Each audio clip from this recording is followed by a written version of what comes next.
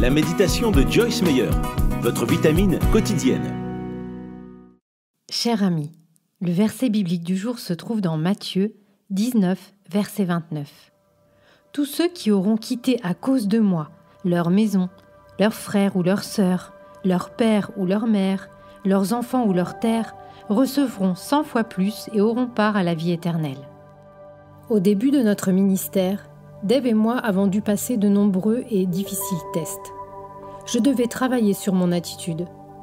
Nous devions régler nos problèmes de couple et notre manière de gérer l'argent. Pendant six ans, j'ai acheté mes chaussettes et mes sous-vêtements dans des brocantes. Nous étions totalement sans le sou. Et moi, j'enseignais la prospérité. Non seulement cela, mais en plus, il était mal vu à l'époque qu'une femme prêche. Nous avons perdu des amis et certains membres de nos familles qui ne voulaient plus entendre parler de nous. C'était tout simplement pénible et parfois j'ai voulu tout abandonner. Mais aujourd'hui, je suis tellement reconnaissante d'être restée accrochée à Dieu parce que des gens du monde entier ont été aidés et bénis par notre ministère. Les Écritures disent dans Matthieu 19 que nous devons abandonner des choses importantes dans notre vie pour la grande cause qui est de le suivre. Nous n'avions pas tout ce dont nous pensions avoir besoin à l'époque, mais au final, nous avons été gagnants.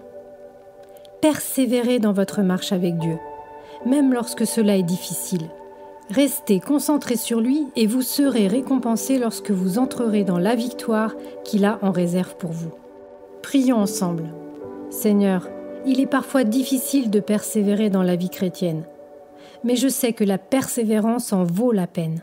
Je vais te suivre, toi seul, parce que tu es tout ce qui compte.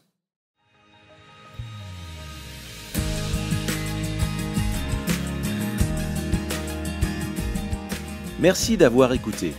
Si vous souhaitez recevoir plus d'encouragement de la part de Joyce, abonnez-vous gratuitement à la newsletter mensuelle sur joycemeyer.fr/newsletter.